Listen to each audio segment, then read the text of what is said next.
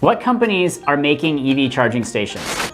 There's a whole litany of companies right now that are making EV charging stations. Uh, in the DC fast, or what you'd consider the replacement of gas station category, uh, there's really three main players here in the US right now. Most people know about Tesla superchargers.